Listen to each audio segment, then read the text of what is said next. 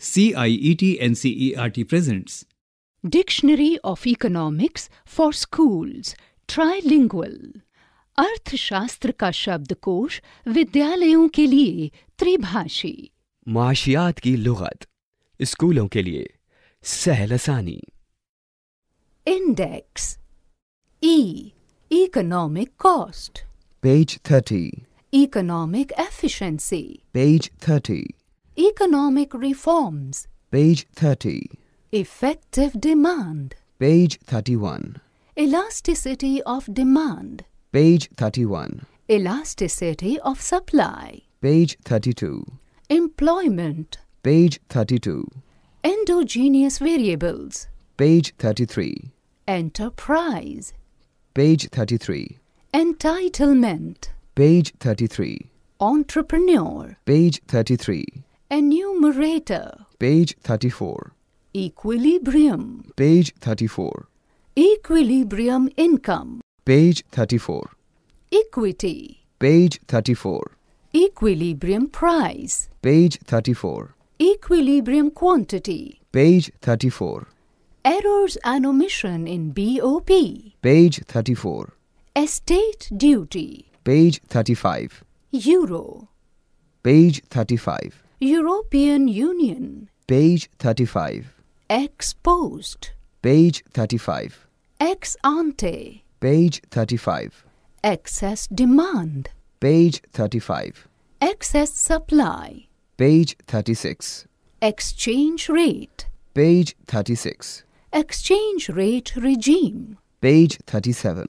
excise duty Page 37. exogenous variables Page 37. expenditure Page 37. export Page 38. export duty Page 38. export import policy exim policy Page 38. external loan Page 38. external sector Page 38. externality Page 38. so let us start with alphabet e. Page 30 e. Economic cost. Sum total of actual money expenditure on inputs explicit cost imputed value of the inputs owned by the owners implicit cost and normal profit. Economic cost is equal to explicit cost plus implicit cost plus normal profit आर्थिक लागत, आगतों पर किया गया वास्तविक व्यय, सुनिश्चित लागत स्वामियों द्वारा उपलब्ध कराई गई आगतों की अनुमानित कीमत, अंतर्निहित लागत और सामान्य लाभ का कुल योग।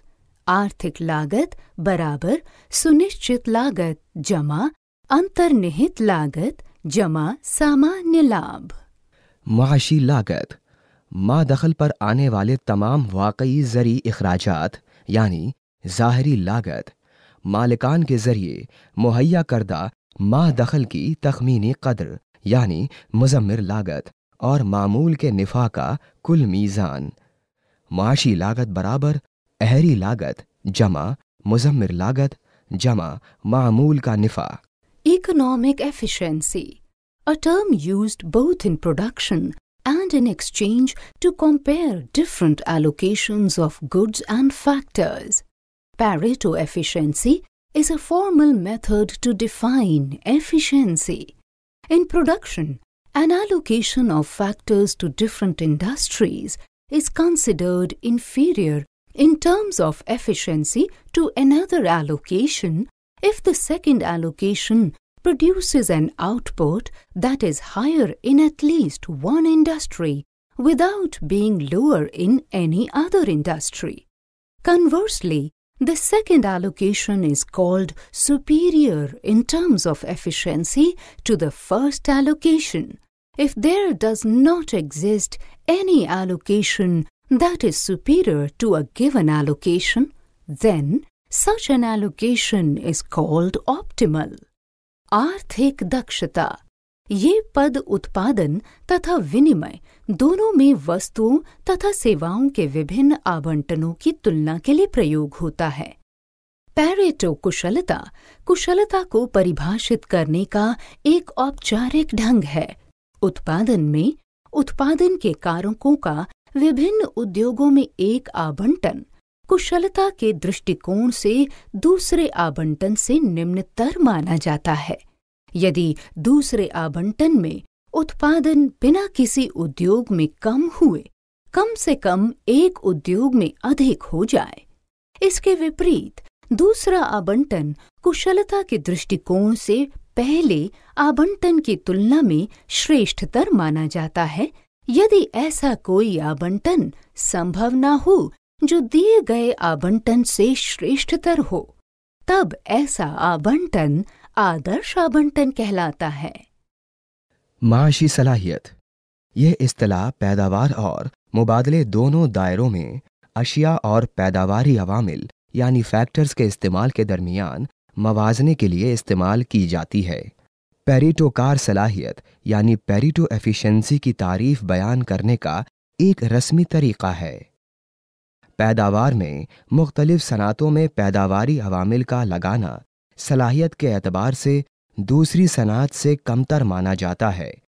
अगर दूसरे इस्तेमाल से कम अज कम एक सनात में पैदावार में इजाफा होता हो और इस तरह कि किसी भी सनात में पैदावार में कमी ना आए, इसके बरक्स दूसरा इस्तेमाल पहले इस्तेमाल की सलाहियत के लिहाज से बरतर करार दिया जाता है। अगर कोई और इस्तेमाल मौजूदा इस्तेमाल से बरतर न हो। इस तरह के इस्तेमाल को इंतहाई यानी ऑप्टिमल कहा जाता है। Economic reforms refer to wholesale changes in economic policies intended for liberalization privatization and globalization L P G liberalization refers to liberalizing or loosening government controls on the economy. For example, removing licensing. Privatization refers to increasing private ownership of resources and assets. And globalization refers to increased flow of goods, services, and capital across countries. Some examples of economic reforms are removal of license Raj, removing government procurement of agricultural produce, disinvestment, permission for greater foreign investments, freeing of capital markets, etc. Many countries started adopting economic reforms in 1970s. In India, the beginning of this process is usually dated to 1991. Arthik Sudhar इनसे अभिप्राय, उदारीकरण, निजीकरण तथा वैश्वीकरण के लिए आर्थिक नीतियों में थोक में परिवर्तन करने से है। उदारीकरण का अर्थ अर्थव्यवस्था पर सरकारी नियंत्रण को कम करना है। उदाहरण के लिए, लाइसेंस प्रणाली को हटाना। निजीकरण से अभिप्राय, संसाधनों तथा संपत्ति के बढ़ते हुए निजी स्वामित्व से है। तथा वैश्वीकरण से अभिप्राय देशों के बीच में वस्तुओं, सेवाओं तथा पूंजी के बढ़ते हुए प्रवाह से है। आर्थिक सुधारों के कुछ उदाहरण, लाइसेंस राज की समाप्ति, कृषि उत्पादन का सरकारी अधिप्राप्ति, विनिवेश, अधिक विदेशी निवेश को मंजूरी, पूंजी बाज़ार को मुक्त करना इत्यादि है। कई देशों ने 1970 के दशक में आर्थिक सुधारों को अपनाना शुरू किया। भारत में इस प्रक्रिया के शुरू होने का समय उन्नीस सौ इक्यानवे माना जाता है। माशी असलाहत इकतसादी असलाहत से मुराद इकतसादी पॉलिसियों में ऐसी बुनियादी तब्दीलियों से है, जिनका मकसद नरमकारी यानी लिबरलाइजेशन, निजकारी यानी प्राइवेटाइजेशन और आलमकारी यानी ग्लोबलाइजेशन हो। नरमकारी का मतलब मईशियत पर हुकूमत के कंट्रोल में ढील या कमी लाना है। मसलन, लाइसेंस का निज़ाम तर्क करना। निजकारी का मतलब है वसाइल और असासों की निजी मिल्कियत में इजाफा करना। और आलमकारी से मुराद है मुल्कों के दरमियान अशिया, खिदमात और सरमाए की रवानी में इजाफा। इकतसादी असलाहत में लाइसेंस राज को हटाना। ज़राई पैदावार की सरकारी खरीदारी ख़त्म करना। हुकूमत की आदम सरमायाकारी, ज़्यादा बैरूनी सरमायाकारी को मंजूरी, सरमाया बाजारों को आज़ाद करना वगैरह 1970 की दिहाई में कई मुल्कों ने इकतसादी असलाहत शुरू की हिंदुस्तान में इसका सिलसिला उन्नीस सौ इक्यानवे में शुरू हुआ page 31. Effective demand. Some total of planned expenditures or planned demand in the economy.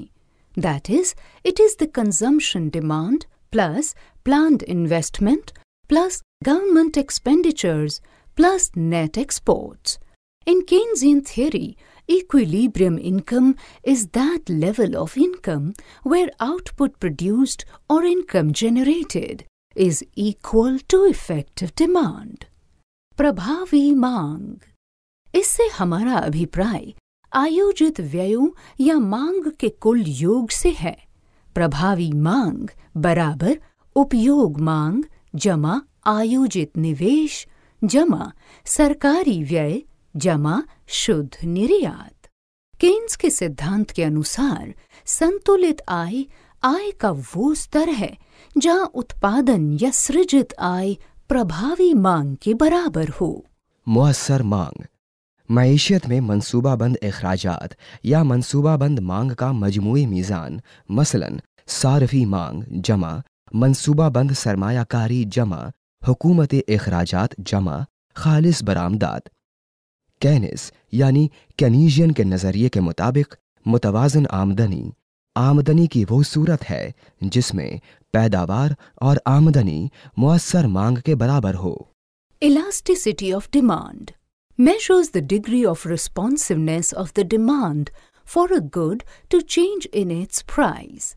Certain goods are more elastic than others, and the elasticity of a single good also varies for different levels of prices and quantities. Elasticity of demand is equal to percentage change in quantity demanded upon percentage change in price. Elasticity of demand is equal to minus delta Q upon Q with subscript 0 divided by delta P upon QP with subscript 0. It is equal to minus delta Q upon delta P, P with subscript 0 divided by Q with subscript 0. Since the change in prices and quantities are in the opposite direction due to the law of demand, a negative sign is affixed so that elasticity of demand is positive. If the percentage change in quantity demanded is greater than the percentage change in price, then elasticity of demand is greater than 1. In such cases, demand of the good is called elastic. Here, an increase in price leads to a fall in expenditure or revenues. Conversely, if elasticity of demand is less than 1, then demand curve is called inelastic. In such cases, rise in price leads to a rise in expenditure or revenue.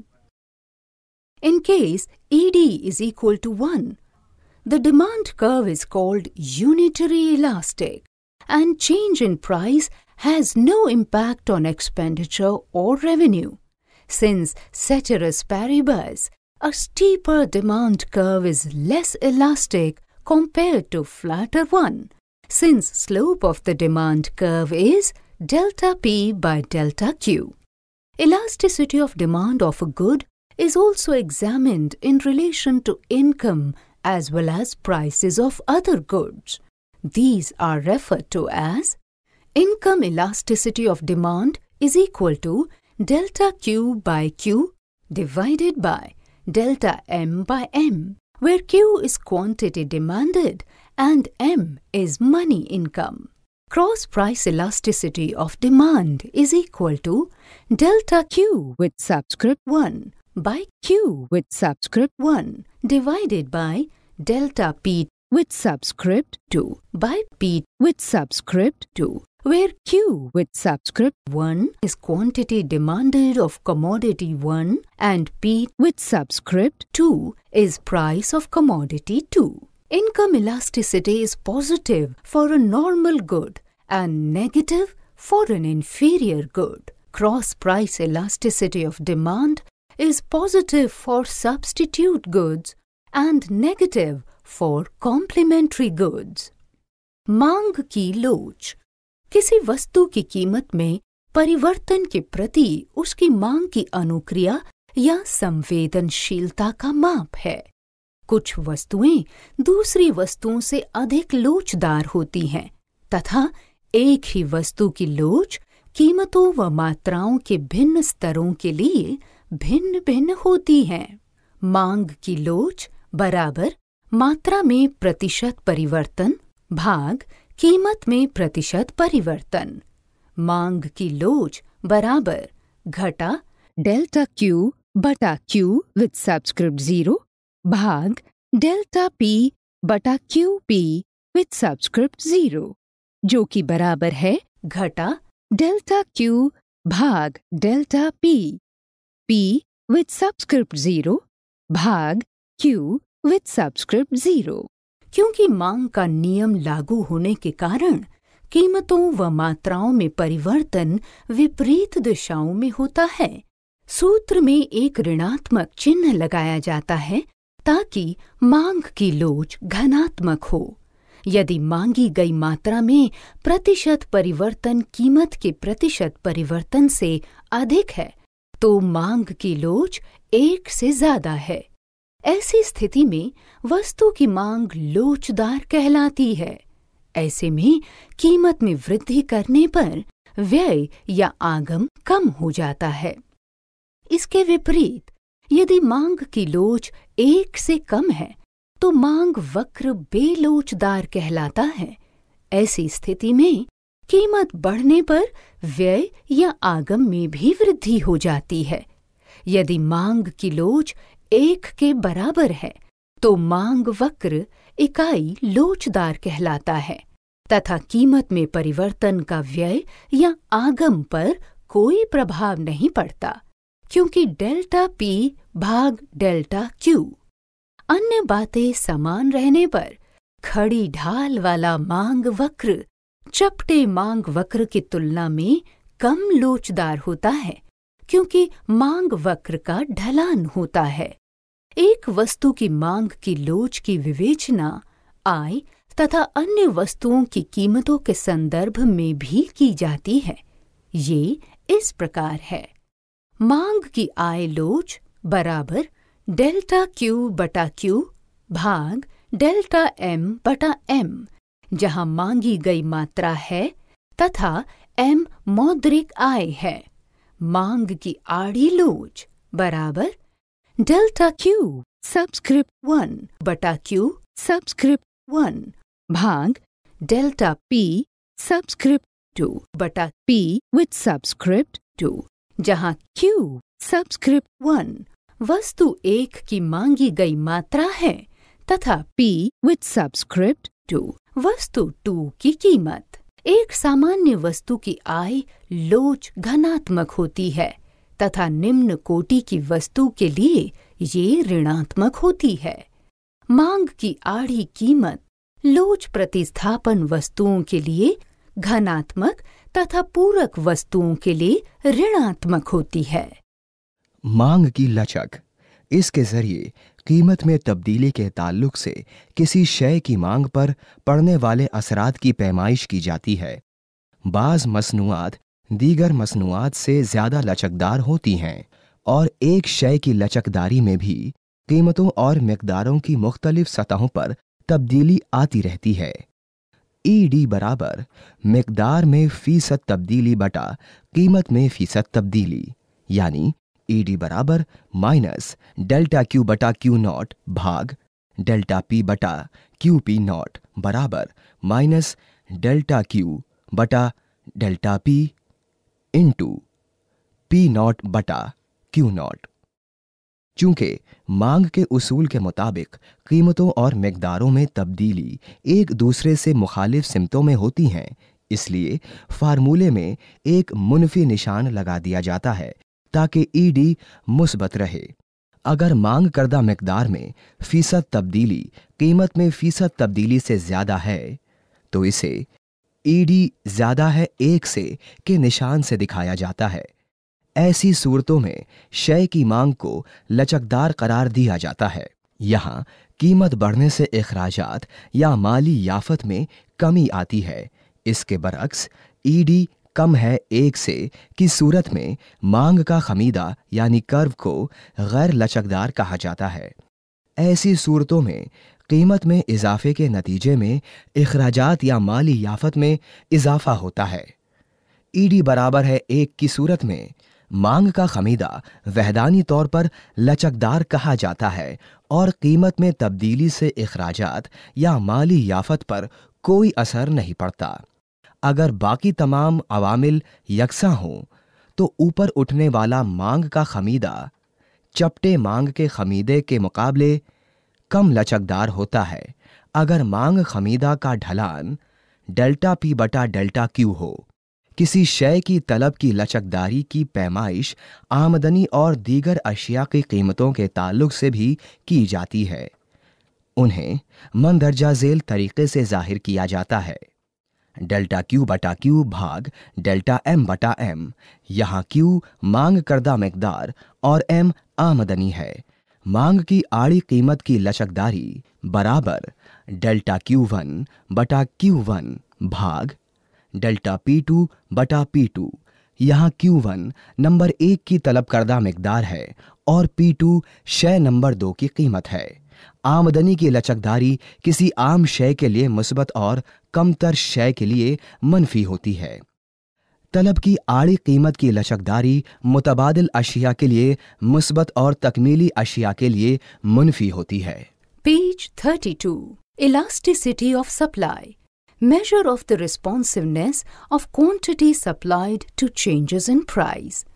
It is defined as the ratio of percentage change in quantity supplied to the percentage change in price. Elasticity of supply is equal to delta Q upon Q with subscript 0 divided by delta P upon P with subscript 0. It is equal to delta Q P with subscript 0 divided by delta P Q with subscript 0. The value of elasticity of supply less than 1 is called inelastic. Exactly 1, then it is called unitary elastic, and if it is greater than 1, then it is called elastic. Elasticity values of 0 and infinity are called perfectly inelastic and perfectly elastic respectively. Since elasticity of supply can be expressed as the product of delta Q upon delta P and P with subscript 0 divided by Q with subscript 0. Its value depends on the slope of the supply curve delta P upon delta Q and the slope of the ray from the origin to the point. Hence, a supply curve with a steep slope is less elastic and one that is flatter is more elastic. In order to determine whether supply is elastic or inelastic at a point on the supply curve, the tangent to the supply curve at that point may be examined. If the intercept of the tangent on the price axis is positive, the supply curve is elastic and it is inelastic if the intercept is negative. A tangent passing through the origin is always unitary elastic. पूर्ति की लोच कीमत में परिवर्तन के कारण पूर्ति की गई मात्रा की संवेदनशीलता का माप ये पूर्ति की गई मात्रा में प्रतिशत परिवर्तन तथा कीमत में प्रतिशत परिवर्तन के अनुपात के रूप में परिभाषित की जाती है। पूर्ति की लोच घटा डेल्टा क्यू बटा क्यू सबस्क्रिप्ट शून्य, भाग डेल्टा पी बटा पी सब्सक्रिप्ट शून्य, जो कि बराबर है डेल्टा क्यू पी सब्सक्रिप्ट शून्य, भाग डेल्टा पी क्यू सब्सक्रिप्ट शून्य। पूर्ति की लोच का मान एक से कम होने पर इसे बेलोचदार, एक होने पर इकाई लोचदार तथा एक से अधिक होने पर लोचदार कहा जाता है। लोच का मान शून्य तथा अनंत होने पर इसे क्रमशः पूर्ण तथा बेलोचदार तथा पूर्ण तथा लोचदार कहा जाता है, क्योंकि पूर्ति की लोच को डेल्टा क्यू भाग डेल्टा पी तथा पी सबस्क्रिप्ट शून्य भाग क्यू सबस्क्रिप्ट शून्य के गुणनफल के रूप में दिखाया जा सकता है। इसका मूल्य मान पूर्ति वक्र के ढलान डेल्टा पी भाग डेल्टा क्यू तथा मूल बिंदु से पूर्ति वक्र के बिंदु तक की रेखा के ढलान पर निर्भर करता है। अतः खड़ी ढलान वाला पूर्ति वक्र कम लोचदार तथा चपटा पूर्ति वक्र अधिक लोचदार होता है। ये तय करने के लिए कि पूर्ति वक्र के एक बिंदु पर पूर्ति लोचदार है या बेलोचदार, पूर्ति वक्र के उस बिंदु की स्पर्श रेखा को जांचा जाता है। यदि कीमत अक्ष पर स्पर्श रेखा का अतः खंड घनात्मक है तो पूर्ति वक्र लोचदार होता है। तथा यदि अतः खंड ऋणात्मक है तो पूर्ति वक्र बेलोचदार होता है। मूल बिंदु से गुजरने वाली स्पर्श रेखा सदा इकाई लोचदार होती है। रसदी की लचक। यह कीमत में तब्दीली के ताल्लुक से फराहम करदा मकदार पर पड़ने वाले असरात की पैमाइश है। इसकी तारीफ़ फराहम करदा मकदार में फ़ीसद तब्दीली और कीमत में फ़ीसद तब्दीली के दरमियानी तनासब, यानी रेशियो से की जाती है। ई एस बराबर, डेल्टा क्यू बटा क्यू नॉट भाग ए पी बटा पी नॉट बराबर, डेल्टा क्यू पी नॉट बटा डेल्टा पी क्यू नॉट। यहाँ ई एस की कद्र एक से कम होने पर उसे गैर लचकदार, एक होने पर इकाई लचकदार और ज़्यादा होने से लचकदार कहा जाता है। लचकदारी की सफ़र और बेहद कद्र को बिला तरतीब कामिल गैर लचकदार और कामिल लचकदार कहा जाता है। अगर ई एस को डेल्टा क्यू बटा डेल्टा पी और पी नॉट बटा क्यू नॉट के हासिल ज़रब के ज़रिए ज़ाहिर किया जाए तो उसकी कीमत यानी कद्र रसदी खमीदे के ढलान डेल्टा पी बटा डेल्टा क्यू और बुनियादी नुक्ते से रसदी खमीदे के नुक्ते तक की लकीर की ढलान पर मुनहसर होता है। इसलिए खड़ी ढलान वाला रसदी खम कम लचकदार और चपटा रसदी खमीदा ज़्यादा लचकदार करार दिया जाता है। ये मालूम करने के लिए कि रसद, रसदी खमीदे के किसी एक नुक्ते पर लचकदार है या गैर लचकदार, रसदी खमीदे के उसी नुक्ते के इल्तमास ख़त की पैमाइश की जाती है। अगर कीमत इल्तमास पर इल्तमासी ख़त का तकाता मुस्बत है तो रसदी खमीदा लचकदार होता है। और अगर मुनफी तकाता है तो रसदी खमीदा गैर लचकदार होगा। बुनियादी नुक्ते से गुजरने वाला इल्तमासी खत हमेशा इकाई लचकदार होता है। Page 33 Employment Engagement of a factor of production is the gainful economic activity. The term employment, used by itself, usually refers to labor employment. Employment may involve the laborer living out the labor for its use by a firm or entrepreneur. Alternatively, the laborers may use their own labor to earn a livelihood, and this is referred to as self employment. Rate of employment refers to ratio of the people employed, that is, the workforce to the total labor force.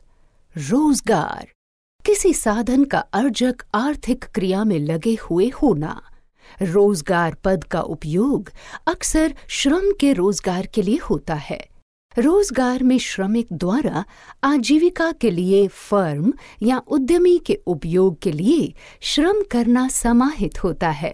इसके अतिरिक्त श्रमिक अपनी आजीविका चलाने के लिए अपने श्रम का स्वयं के लिए उपयोग कर सकते हैं तथा इसे स्वरोजगार कहा जाता है। रोज़गार की दर से अभिप्राय रोज़गार में लगे हुए लोगों तथा कुल श्रम बल के अनुपात से है। रोज़गार। किसी पैदावारी आमिल की मुनफात बख्श इक्तसादी सरगर्मी को रोज़गार कहा जाता है। रोज़गार के इस्तेलाह का मतलब अमूमन मजदूरों का रोज़गार होता है। रोज़गार के तहत कोई मजदूर किसी फर्म या सनातकार को अपनी मेहनत के इस्तेमाल का मौका देता है और उसके लिए अपनी ज़िंदगी बसर करता है इसकी एक सूरत यह है कि मजदूर अपनी मेहनत का इस्तेमाल खुद अपने लिए करें इस सूरत को खुद रोजगारी कहा जाता है रोज़गार की शरह का मतलब है रोज़गार याफ्ता लोगों और मजदूरों की मजमूई तादाद के दरमियानी तनासब, यानी ratio Endogenous variables. The variables whose values are determined by other variables within the system. For example, quantity of a good demanded is seen as endogenous variable, while tastes and preferences of consumers are exogenous variables. See also exogenous variables. In Keynesian macroeconomic theory, Income and rate of interest are endogenous variables, while government expenditure and autonomous investment are not. अंतर्जात चर। ऐसे चर, जिनके मूल्य का निर्धारण उस तंत्र के अंतर्गत अन्य चरों द्वारा किया जाता है। उदाहरण के लिए, मांग की गई वस्तु की मात्रा को अंतर्जात चर माना जाता है, जबकि उपभोक्ताओं की पसंद और अभिरुचि बहिर्जात चर होती है। केन्स के समष्टिगत आर्थिक सिद्धांत में आय तथा ब्याज की दर अंतर्जात चर हैं, जबकि सरकारी व्यय तथा स्वतंत्र निवेश अंतर्जात चर नहीं हैं। देखें बहिर्जात चर। दाखिली मुतगीरात। ऐसे मुतगीरात जिनका तयीन किसी निज़ाम के अंदर दीगर मुतगीरात के ज़रिए किया जाता है। मसलन, मांग करदा हर शय की मकदार को दाखिली मुतगीरा माना जाता है। जबकि सारिफों की पसंद और ज़ौक़ खारजी मुतगीरात हैं। कैनिस की कबीरी इकतसादी नज़रिए यानी मैक्रो इकोनॉमिक्स के मुताबिक आमदनी और सूद दाखिली मतगीरत हैं जबकि सरकारी अखराज और आज़ादाना सरमाकारी दाखिली मुतगीरात नहीं हैं। नेज देखिए खारजी मुतगीरात। Enterprise, a business venture either public or private. See also entrepreneur. उद्यम सार्वजनिक या निजी व्यावसायिक उपक्रम देखें उद्यमी कारोबारी इदारा कोई भी सरकारी या निजी कारोबारी इदारा नेज देखिए जोखिमकार Entitlement. First, the benefit to which an individual has a legal right as specified by a contract. Several government programs provide benefits to members of a specified group of the society. Second, privileges that one deserves or is entitled to. पात्रता हकदारी पहला संविदा के अंतर्गत एक व्यक्ति को लाभ प्राप्त करने का कानूनी अधिकार कई सरकारी कार्यक्रम समाज के किसी विशेष समूह के सदस्यों को लाभ प्रदान करते हैं। दूसरा, विशेषाधिकार, जिसका कोई हकदार या पात्र होता है। इस्तेहकाक एक, ऐसी मुनफात जिसका कोई फर्द किसी मुआदे के तहत कानूनी तौर पर हकदार होता है। मुख्तलिफ़ सरकारी प्रोग्राम समाज के मखसूस गिरोहों के अफराद को ऐसी मुनफातें फराहम करते हैं दो वो मराआत जिनका कोई शख्स मुस्तहक या हकदार होता है Entrepreneur A person who organizes and manages a business enterprise with initiative and risk. The art of organizing a business venture is called entrepreneurship. It is one of the factors of production. Udyami व्यक्ति जो पहल और जोखिम के साथ किसी व्यावसायिक उपक्रम का संगठन और प्रबंधन करता है। व्यावसायिक उपक्रम को संगठित करने की कला को ही उद्यमशीलता कहते हैं। ये उत्पादन के कारकों में से एक है। जोखिमकार, जो शख्स किसी ऐसी कारोबारी सरगर्मी को मुनज़्ज़म करके उसका बंदोबस्त या इंतज़ाम करे, जिसमें पेश कदमी और जोखिम दोनों दरकार हों। किसी कारोबारी सरगर्मी को मुनज़म करने का फन जोखिमकारी कहलाता है। यह पैदावार का एक अहम आमिल है। Enumerator a person who goes to the field and or performs door to door survey to collect data enumerators are train to narrate and interpret question correctly explain to the respondents the objective of the inquiry and importance of the survey. Page 34 परिगणक। वो व्यक्ति जो आंकड़ों को एकत्र करने के लिए घर घर जाकर या क्षेत्रों में जाकर सर्वेक्षण करता है। परिगणक प्रश्नों का सही तरीके से वर्णन और विवेचना करने उत्तरदाता को सर्वेक्षण के महत्व और जाँच उद्देश्य के बारे में पूछे गए प्रश्नों की व्याख्या करने में प्रशिक्षित होते हैं। शुमार कनंदा, वो शख्स जो फ़ील्ड में बाहर जाकर या घर घर जाकर सर्वे करके एदाद शुमार जमा करे। शुमार कनंदों को इसकी तरबियत दी जाती है कि वो सवालात को सही तौर पर हल कर सकें और उसकी वजाहत भी कर सकें। और जवाब दहंदगान को इस्तसार का मकसद या किसी सर्वे की अहमियत बयान कर सकें Equilibrium a state of balance resulting as the overall effect of different pushes and pulls.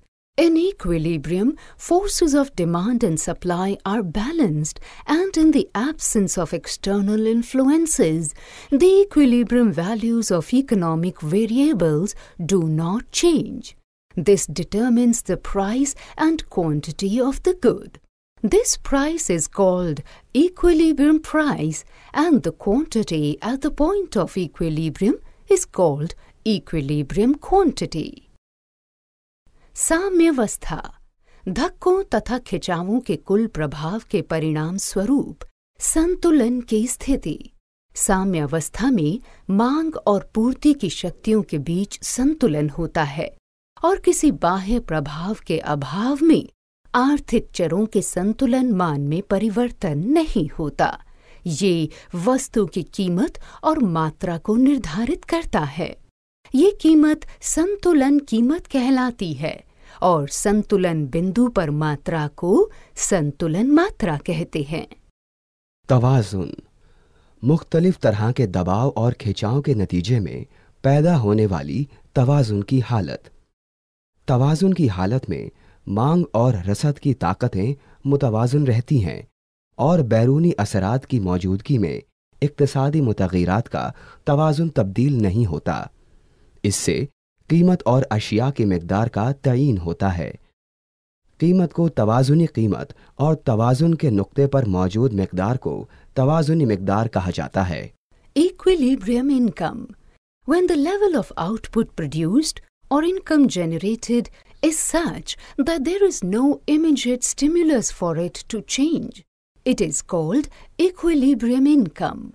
According to some economists, classical economists, economy is at equilibrium level of income when all the resources are fully employed. According to other economists, John Maynard Keynes, equilibrium income is that level of income where output produced equals planned expenditures or aggregate demand. संतुलन आय जब उत्पादन या सृजित आय का स्तर ऐसा हो कि उसमें परिवर्तन होने का कोई तात्कालिक प्रोत्साहन न हो तो ये संतुलित आय होती है परंपरावादी अर्थशास्त्रियों के अनुसार अर्थव्यवस्था उस समय आय के संतुलित स्तर पर होती है, जब सभी संसाधनों को रोज़गार मिला हुआ हो। केन्जियन अर्थशास्त्रियों के अनुसार, संतुलित आय आय का वो स्तर है, जहाँ उत्पादन, आयोजित व्यय या कुल मांग के बराबर होता है। तवाजुनी आमदनी। जब पैदावार या आमदनी की सतह ऐसी हो कि उसमें तब्दीली के लिए कोई फौरी सबब मौजूद ना हो तो उसे तवाजुनी आमदनी कहा जाता है। बाज माहरीन इकतसादियात, यानी क्लासिकी माहरीन इकतसादियात के मुताबिक मैशियत आमदनी की तवाजुनी सतह पर उस वक्त होती है, जब तमाम वसाइल पूरी तरह इस्तेमाल किए जा रहे हों। कुछ और माहरीन इकतसादियात, जैसे जॉन मैनार्ड केन्स के मुताबिक, तवाजुनी आमदनी आमदनी की वो सतह होती है, जहाँ पैदावार मंसूबाबंद अखराजात या मजमूई मांग के बराबर हो Equity. First, a concept in welfare economics wherein it is believed that equitable distribution leads to economic justice and greater welfare. Second, a term in commerce and business referring to ordinary shares of a company that confers ownership rights to the extent of the number of shares held. Equity. पहला कल्याण अर्थशास्त्र की वो अवधारणा जिसमें ये माना जाता है कि न्यायोचित वितरण से आर्थिक न्याय और अधिक कल्याण संभव होता है दूसरा वाणिज्य और व्यवसाय से संबंधित एक पद, जो किसी कंपनी के सामान्य अंशों से संबंधित है और जो अंश धारकों को अंशों की संख्या के आधार पर स्वामित्व प्रदान करता है। इक्विटी एक, ये फलाही मीशतों का एक तस्वुर है, जिसकी बुनियाद इस यकीन पर है कि मुनसफाना तकसीम माशी इंसाफ और अजीम तर फलाह की तरफ़ ले जाती है। दो। कॉमर्स की एक अतलाह है जिसका मतलब कंपनी के आम हसस में और मकबूजा हसस की मकदार की हद तक मिल्कियत के हकूक अता करती है। Equilibrium price see also equilibrium संतुलन कीमत. देखें साम्यावस्था। तवाजुनी कीमत. नेज देखिए. तवाजुन। Equilibrium quantity. See also equilibrium. संतुलन मात्रा देखें साम्यावस्था तवाजुनी मकदार नेज देखिए तवाजुन Errors and omissions in BOP. A phrase written at the end of any financial statement. This is shown in the balance of payments BOP, indicating that statistical discrepancies that may arise shall be accounted for. भुगतान संतुलन में भूल चूक किसी भी वित्तीय विवरण के अंत में लिखा गया एक वाक्यांश, इसे भुगतान संतुलन में दर्शाया जाता है, जो उन सांख्यिकीय विसंगतियों का संकेत करता है, जिनके होने की संभावना रहती है, इनका हिसाब दिया जाता है। अदायगी तवाजुन में गलतियाँ और भूल चूक भूल चूक लेनी देनी, जैसा फिक्रा हर माली गोशवारे के आखिर में लिखा जाता है। अदायगी के तवाजुन में इसका मतलब ये होता है कि इसमें जो शुमारियाती इख्तलाफ पैदा हों, उसका हिसाब किया जाएगा। Page thirty five estate duty a tax on the value of property left by a deceased person it has been replaced by inheritance tax in India संपदा शुल्क। किसी मृत व्यक्ति द्वारा छोड़ी गई संपत्ति के मूल्य पर लगाया जाने वाला कर। भारत में इसका स्थान उत्तराधिकारी कर ने ले लिया है। स्टेट ड्यूटी किसी मतूफी शख्स की मतरूका जायदाद की कीमत या कदर पर टैक्स। हिंदुस्तान में इस महसूल की जगह विरासत टैक्स ने ले ली है। Euro. The common currency of the European Union. 12 out of 27 countries in EU have so far adopted euro and are members of the eurozone. Euro coins and notes went into general circulation as the official currency of the eurozone on 1st January 2002. Euro European union की सर्वमान्य मुद्रा European union EU के 27 सदस्य देशों में से 12 ने euro को स्वीकार कर लिया है, और ये यूरो जोन के सदस्य हैं। एक जनवरी 2002 से यूरो सिक्के और नोट का सामान्य प्रचलन यूरो जोन की आधिकारिक मुद्रा के रूप में होने लगा है। यूरो, ये यूरोपीय यूनियन की मुश्तरका करेंसी है। इस यूनियन के 27 में से 12 मुल्कों ने यूरो को अपना लिया है और वो यूरोजोन के मेंबर हैं। यूरो सिक्के और यूरो नोट, यकम जनवरी 2002 को यूरोजोन की सरकारी करेंसी के तौर पर राइज हुए। European Union, a political and economic union of 27 countries established in 1993 by the Maastricht treaty. It was initially formed with 12 members namely Belgium Denmark France, Germany, Greece, Ireland, Italy, Luxembourg, the Netherlands, Portugal, Spain, and the United Kingdom, and later was joined by other 15 members. The EU has three pillars, which are the European Community, Common Foreign and Security Policy, and Police and Judicial Cooperation in Criminal Matters. The EU has a wide variety of legislative bodies, including the European Parliament, the Council of the European Union, and the European Commission. European संघ Maastricht संधि के अंतर्गत उन्नीस में स्थापित 27 देशों का राजनीतिक और आर्थिक संघ प्रारंभ में इसका गठन 12 देशों द्वारा किया गया जिनके नाम हैं Belgium Denmark France Germany Greece Ireland Italy Luxembourg Netherlands पुर्तगाल स्पेन और यूनाइटेड किंगडम बाद में पंद्रह अन्य देश भी इसमें शामिल हुए। यूरोपियन संघ के तीन स्तंभ हैं। यूरोपियन कम्युनिटी, सांझी विदेशी और सुरक्षा नीति और पुलिस एवं आपराधिक मामलों में न्यायिक सहयोग। यूरोपियन संघ की यूरोपीय संसद काउंसिल ऑफ़ यूरोपियन यूनियन तथा यूरोपियन कमीशन सहित कई तरह की वैधानिक संस्थाएँ हैं। यूरोपीय इत्तेहाद। यह 27 मुल्कों का एक सियासी और इक्तसादी इत्तेहाद है, जो मास्ट्रिच मुआदे यानी मास्ट्रिच ट्रीटी के तहत उन्नीस सौ तिरानवे में कायम किया गया था। इब्तदा में इसमें 12 ममालिक, यानी बेल्जियम, डेनमार्क, फ्रांस, जर्मनी, यूनान, आयरलैंड, इटली, लग्जमबर्ग, नीदरलैंड, पुर्तगाल, स्पेन और यूके, यानी यूनाइटेड किंगडम शामिल थे। लेकिन बाद में इसमें मजीद पंद्रह ममालिक शामिल हो गए। यूरोपीय इतिहाद के तीन सुतून यूरोपीय बिरादरी मुश्तरका खारजा और सलामती पॉलिसी और फौजदारी के अमूर में पुलिस और अदलिया का बाहमी ताउन है। यूरोपीय इत्तेहाद के कई कानून साज इदारे हैं, जिनमें यूरोपीय पार्लियामेंट यूरोपीय इतिहाद की काउंसिल और यूरोपीय कमीशन शामिल हैं। Ex post as opposed to ex ante, which means actual or realized values of the variables such as consumption, investment, savings output etc in ex ante terms, the values of the variables match.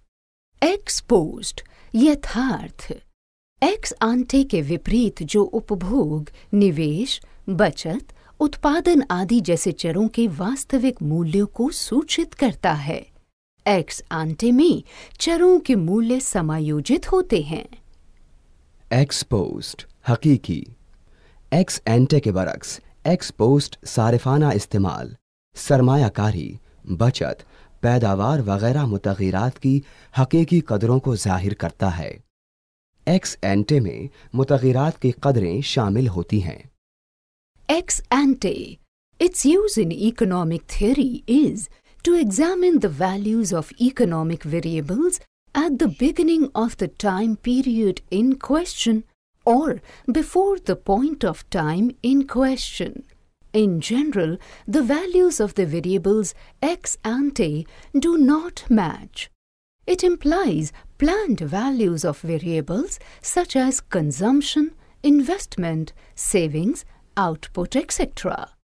Ex ante प्रत्याशित आर्थिक सिद्धांत में इसका उपयोग दी गई समयावधि के आरंभ में या दिए गए समय बिंदु से पहले आर्थिक चरों के मान की विवेचना में है।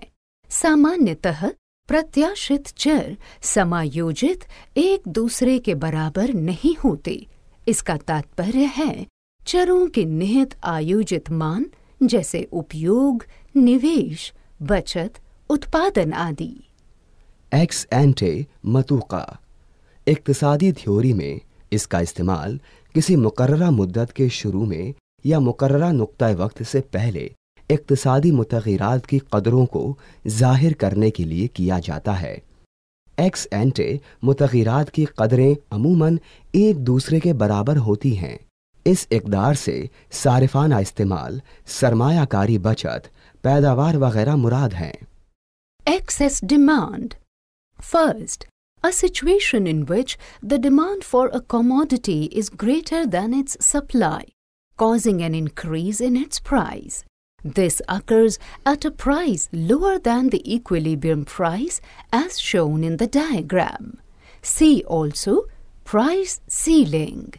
Second, in macroeconomic theory, excess demand refers to a situation where aggregate demand is greater than aggregate supply at a given level of output. See also inflationary gap. Page 36. अधिमांग पहला ऐसी स्थिति जिसमें वस्तु की मांग उसकी पूर्ति से अधिक होती है परिणाम स्वरूप वस्तु की कीमतों में वृद्धि होती है ये संतुलन कीमत से कम कीमत होने की स्थिति में होती है, जैसा कि रेखा चित्र में दर्शाया गया है। देखें, उच्चतम कीमत। दूसरा, समाष्टि अर्थशास्त्र सिद्धांत में अधिमांग ऐसी स्थिति को सूचित करता है, जहाँ उत्पादन के किसी स्तर पर समग्र पूर्ति की तुलना में समग्र मांग अधिक होती है। देखें, स्फीति अंतराल। जायद मांग। एक, ये एक ऐसी सूरत हाल है जिसमें किसी शय की मांग उसकी रसद से ज़्यादा होती है, जिससे उस शय की कीमत में इजाफा हो जाता है। ये हालत तवाजुनी कीमत यानी इक्विलिब्रियम प्राइस से कम कीमत पर पैदा होती है, जैसा कि खाके में देखा गया है। देखिए कीमत हद। दो कला मुआशियाती नज़रिए में जायद मांग से मुराद ऐसी हालत है जब मुकर्र पैदावार के नुक्ते पर मजमू मांग मजमू रसद से ज़्यादा हो जाती है। नेज देखिए, इफराती खला। Excess supply a situation in which the supply of a commodity is greater than the demand for it causing a downward pressure on its market price This occurs at a price higher than the equilibrium price, as shown in the diagram. अधिपूर्ति ऐसी स्थिति जिसमें वस्तु की पूर्ति उसकी मांग से अधिक होती है, जिसके परिणाम स्वरूप वस्तु की बाज़ार कीमत में गिरावट होती है। ये संतुलन कीमत से अधिक कीमत होने की स्थिति में होता है, जैसा कि रेखा चित्र में दर्शाया गया है। जायद रसद ऐसी हालत जिसमें किसी शय की रसद मांग से ज़्यादा होती है इसके नतीजे में उस शय की बाज़ार कीमत में गिरावट का दबाव बढ़ता है ये हालत तवाजुनी कीमत से ज़्यादा कीमत पर पैदा होती है, जैसा कि खाके में देखा गया है exchange rate refers to price of one currency in terms of another currency. If the price of one dollar is equal to 50 rupees, then exchange rate of dollar in terms of rupees equals 50 or one dollar is equal to rupees 50. Exchange rates can be fixed by the government or central bank of a country as under fixed exchange rate regimes, or exchange rates may be determined by demand and supply of currencies in the market as under flexible exchange rate regimes. Nominal exchange rate is price of one currency in terms of another, but real exchange rate shows the relative purchasing power in the trading countries measured in terms of same currency. R is equal to E multiplied by P with base F divided by P, where R is real exchange rate. E is equal to nominal exchange rate P with base F is equal to price level of foreign country. P is equal to price level of home country. If E is equal to 50 and P star is equal to 1 and P is equal to 50, this implies that R is equal to 1 or the purchasing power is same in both countries. It is real exchange rate rather than nominal exchange rate, which impacts the behavior of exports and imports. See also fixed exchange rate, flexible exchange rate, overvaluation of exchange rate, undervaluation of exchange rate विनिमय दर, एक currency की दूसरी currency के रूप में कीमत। यदि एक डॉलर की कीमत रुपए पचास है तो रुपए के संदर्भ में डॉलर की विनिमय दर पचास है या एक डॉलर बराबर रुपए पचास। स्थायी नियत विनिमय दर प्रणाली में विनिमय दर सरकार या देश के केंद्रीय बैंक द्वारा निर्धारित की जा सकती है, या लोचशील विनिमय दर प्रणाली में बाज़ार में करेंसियों की मांग तथा पूर्ति के द्वारा निर्धारित हो सकती है।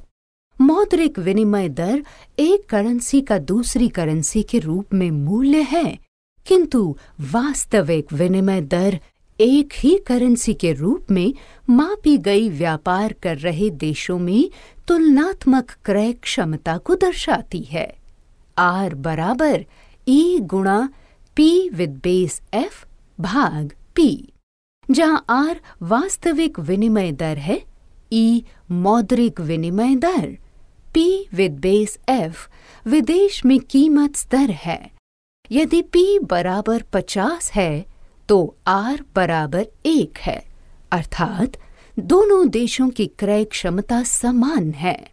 ये मौद्रिक विनिमय दर नहीं, बल्कि वास्तविक विनिमय दर है जो आयात निर्यात को प्रभावित करती है। शरह मुबादला। किसी मुल्क की करेंसी की, किसी दीगर मुल्क की करेंसी के ताल्लुक से मवाजनाती कदर को शरह मुबादला कहा जाता है। शरह मुबादला अलामती या हकीकी हो सकती है। अलामती, शरह मुबादला दो मुल्कों की करेंसी की मुकाबिल कदर होती है। मसलन, अगर अमरीकी डॉलर और हिंदुस्तानी रुपए के दरमियान शरह मुबादला पचास रुपए फ़ी डॉलर है तो गैर मुल्की करेंसी बाज़ार में एक डॉलर की कीमत पचास रुपए होगी। मुकर्रा शरह मुबादला निज़ाम के तहत शरह मुबादला का तयन हुकूमत या मुल्क का मरकज़ी बैंक करता है या लचीली शरह मुबादला निज़ाम के तहत शरह मुबादला तयन बाज़ार में करेंसी की मांग और रसद के ज़रिए किया जाता है। रस्मी शरह मुबादला एक करेंसी का दूसरी करेंसी की कीमत के ताल्लुक से होता है। लेकिन हकीकी शरह मुबादला दो मुल्कों की अशिया की नस्बती क़वत ख़रीद जिसकी पैमाइश उसी करेंसी में की जाती है। आर बराबर ई गुना पी एफ़ बटा पी जहाँ आर हकीकी शरह मुबादला है। ई बराबर नकद शरह मुबादला पी एफ़ बराबर गैर मुल्की मयारी कीमत, अगर पी बराबर पचास और आर बराबर एक हो तो ये बताती है कि दोनों मुल्कों की क़वत ख़रीद बराबर है। ये नकद शरह मुबादला की जगह हकीकी शरह मुबादला है, जो बरामदात और दरामदात पर असरअंदाज होती है। नेज देखिए मुकर्रा शरह मुबादला, मुतगीरा शरह मुबादला शरह मुबादला में अफरात शरह मुबादला में तफरीत।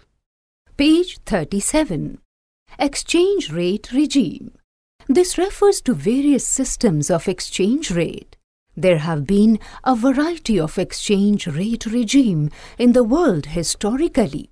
Prior to 1914, gold standard was prevalent. Fixed exchange rate regime prevailed from 1944 to 1971 and since 1971 most of the countries have adopted a flexible or floating exchange rate regime. In the real world, exchange rates are not purely fixed or purely floating. There can be managed floating exchange rates, dirty floating exchange rates, indicating government intervention in the exchange rate markets for different objectives. विनिमय दर व्यवस्था ये विनिमय दर की विभिन्न प्रणालियों को अंकित करता है ऐतिहासिक रूप से विश्व में अनेक प्रकार की विनिमय दर प्रणालियाँ रही हैं। 1914 से पहले स्वर्णमान प्रचलित था। 1944 से 1971 तक स्थिर विनिमय दर व्यवस्था प्रचलित थी, तथा 1971 से अधिकतर देशों ने लोचशील या तिरती विनिमय दर व्यवस्था को अपना लिया है। वास्तव में विनिमय दर विशुद्ध रूप से स्थिर या तिरती नहीं होती। प्रबंधित तिरती विनिमय दर या डर्टी तिरती विनिमय दर हो सकती है, जो विभिन्न उद्देश्यों के लिए विनिमय बाजारों में सरकारी हस्तक्षेप को इंगित करती है। शरय मुबादला निज़ाम। इससे शरय मुबादले की मुख्तलिफ़ निज़ामों को ज़ाहिर किया जाता है। तारीखी लिहाज से दुनिया में कई तरह के शरह मुबादला निज़ाम राइज रहे हैं। 1914 से पहले तुलाई कदर राइज थी। 1944 से 1971 तक मुकर्र शरह मुबादला निज़ाम रिवाज में था और 1971 के बाद से बेशतर मुल्कों में लचकदार या मुतगैर पजीर शरह मुबादला निज़ाम इख्तियार कर लिया गया। हकीकी दुनिया में शरह मुबादला ना तो पूरी तरह मुस्तकिल होती है और ना ही रवा शरह मुबादला इंतज़ामी रवा शरह मुबादला डर्टी रवा शरह मुबादला की सूरत में हो सकती है जिससे ज़ाहिर होता है कि मुख्तलिफ़ मकासद के तहत मुबादला बाज़ार में हुकूमत की मदाखलत ज़ाहिर होती है Excise duty, an indirect tax levied at the point of production of the goods. For example, excise duty on sugar, alcohol, cement, etc. It is the intended equivalent of import duties. Typically, excise duties are different from sales tax in that these apply to lesser number of products which are heavier in comparison with the price of the product and are usually per unit tax. Utpad Shulk वस्तुओं के उत्पादन पर लगाया गया अप्रत्यक्ष कर। उदाहरण के लिए, चीनी, अल्कोहल, सीमेंट आदि पर लगाया गया उत्पाद शुल्क। ये आयात करों के समतुल्य होती हैं। उत्पाद शुल्क बिक्री कर से इस रूप में भिन्न होते हैं कि ये उत्पादनों की कम संख्या पर लागू होते हैं। कीमत के दृष्टिकोण से काफ़ी अधिक होते हैं तथा अक्सर प्रति इकाई कर होते हैं। पैदावारी महसूल, पैदावारी अशिया पर लगाया जाने वाला बिलवास्ता टैक्स, मिसाल के तौर पर चीनी, शराब, सीमेंट पर लगाया गया पैदावारी महसूल। यह दरामदाती महसूलों के बराबर होता है। पैदावारी महसूल सेल्स टैक्स से इस तरह मुख्तलिफ़ है कि यह पैदावारी अशिया की कम तादाद पर लगाया जाता है कीमत के लिहाज से ज़्यादा होता है और अक्सर फ़ी इकाई वसूल किया जाता है। Exogenous variables the variables whose values are impose in the system from outside for example the resources of a country climatic condition etcetera बहिर्जात चर ऐसे चर जिनके मूल्य को तंत्र के बाहर से अधिरोपित किया जाता है। उदाहरण के लिए किसी देश के संसाधन जलवायु की स्थिति आदि। खारजी मुतगीरा ऐसे मुतगीरा जिनकी कदरें किसी निज़ाम में बाहर से ही नाफिज होती हैं जैसे कि मुल्क के वसाइल और वहाँ की आबो हवा वगैरह। Expenditure money spent on different items by economic agents such as individuals firms and government consumer expenditure consists of money payments in cash for real goods or services they purchase. Expenditure incurred on fixed assets by individuals or firms is called investment. Government expenditure not only includes spending on real goods and services, but also interest payments and transfer payments to individuals in the form of pensions, etc. See also transfer payment व्यय, व्यक्ति, firm और सरकार जैसे आर्थिक अभिकर्ताओं, एजेंटों द्वारा विभिन्न मदों पर किया गया मौद्रिक व्यय। उपभोक्ता व्यय में उनके द्वारा खरीदी गई वास्तविक वस्तुओं और सेवाओं के लिए किया गया नकद भुगतान शामिल होता है। व्यक्तियों या फर्मों द्वारा स्थिर परिसंपत्तियों पर किया गया व्यय निवेश कहलाता है। सरकारी व्यय में न केवल वास्तविक वस्तुओं और सेवाओं पर किए गए व्यय शामिल होते हैं, बल्कि ब्याज भुगतान और व्यक्तियों को पेंशन के रूप में अंतरण भुगतान पर व्यय भी शामिल होते हैं। देखें अंतरण भुगतान। पेज 38 खर्च। माशी एजेंट्स, मसलन, अफराद, कंपनियाँ और हुकूमत के ज़रिए मुख्तलिफ़ मुद्दों पर खर्च किया गया रुपया पैसा, यानी ज़र। सारिफ खर्च उन नकद ज़री अदायगियों पर मुश्तमिल होता है, जो खरीदी जाने वाली अशिया या खदमात के लिए की जाती हैं। अफराद या कंपनियों के ज़रिए कायम असासों पर किए जाने वाले खर्च को सरमायाकारी कहते हैं। सरकारी खर्च में न सिर्फ़ हकीकी अशिया और खदमात पर होने वाला खर्च शामिल है बल्कि सूद की अदायगियाँ और पेंशन वगैरह की शक्ल में अफराद के लिए फलाही अदायगियाँ भी शामिल हैं। नेज देखिए ट्रांसफ़र अदायगी। Export sale of goods and services produced in the home country to rest of the world Exports consist of both visible and invisible items, where visible consists of goods and invisible consists of services. निर्यात। किसी देश में उत्पादित वस्तुओं और सेवाओं की विश्व के अन्य देशों को बिक्री। निर्यात दृश्य और अदृश्य दोनों तरह की मदों का होता है।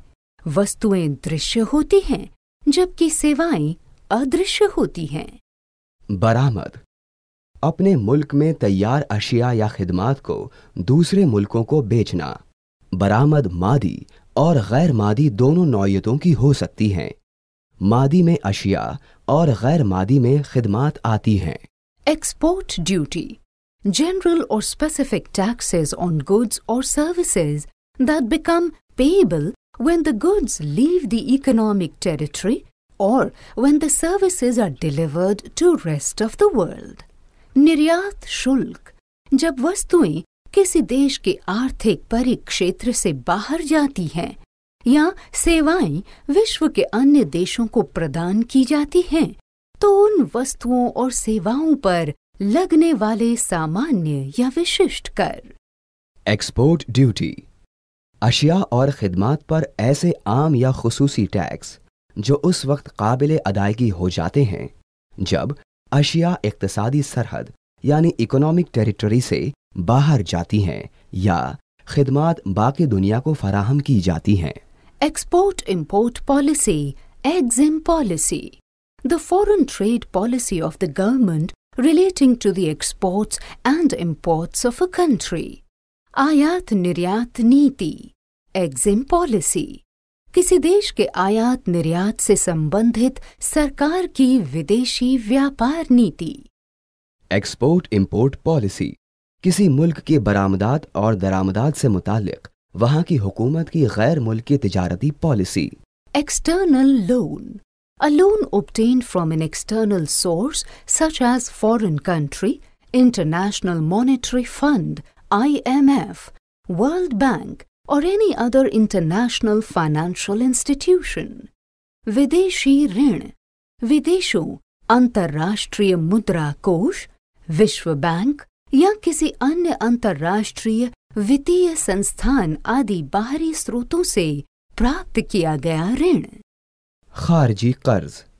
वो कर्ज जो किसी गैर मुल्की ज़रिए मसलन किसी बैरूनी मुल्क बैन अवी मालियाती फंड यानी आईएमएफ आलमी बैंक यानी वर्ल्ड बैंक या और किसी बैन अवी माली इदारे से हासिल हो। External sector refers to the rest of the world बाह्य क्षेत्र इससे अभिप्राय शेष विश्व से है खारजी जिमरा इससे मुराद बाकी दुनिया है externality cost or benefit arising from an activity that accrues to an individual or a firm that does not carry out the activity. Externalities can be positive or negative. Positive externalities are benefits from public infrastructure such as park, road, library, or beach. Adverse impacts or damages caused by air and automobile pollution are negative externalities. बाह्यता किसी क्रियाकलाप से होने वाले लाभ या लागत जो उस व्यक्ति या फर्म को प्राप्त होते हैं जो उस क्रियाकलाप को नहीं करते हैं बाह्यता सकारात्मक और नकारात्मक दोनों हो सकती है। सकारात्मक बाह्यता पार्क, सड़क, पुस्तकालय या समुद्री तट जैसी सार्वजनिक आधारिक संरचना से मिलने वाले लाभ होते हैं। वायु और वाहन प्रदूषण के कारण होने वाली हानियाँ प्रतिकूल नकारात्मक बाह्यता हैं।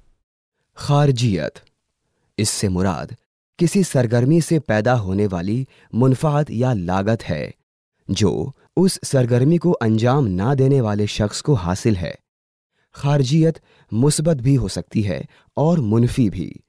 मुस्बत खारजियत में अवामी बुनियादी सहूलतें जैसे पार्क, सड़क, लाइब्रेरी या समंदरी साहिल जैसी सहूलियात शामिल हैं, जबकि बुरे असरात या नुकसानात मसलन हवाई और आबी आलूदगियाँ मुनफी खारजियत हैं। You are just listening to this presentation project coordination Rajesh Nimesh subject coordination doctor Nirja Rashmi project advise doctor Bharti Kaushik technical coordination Batiland Lyngdoh framework advise Ajit Horo production coordination Vandana Arimardan assistance in production Amit Kumar Produced and directed by Vimlesh Chaudhary. And this presentation is brought to you by CIET NCERT New Delhi, India.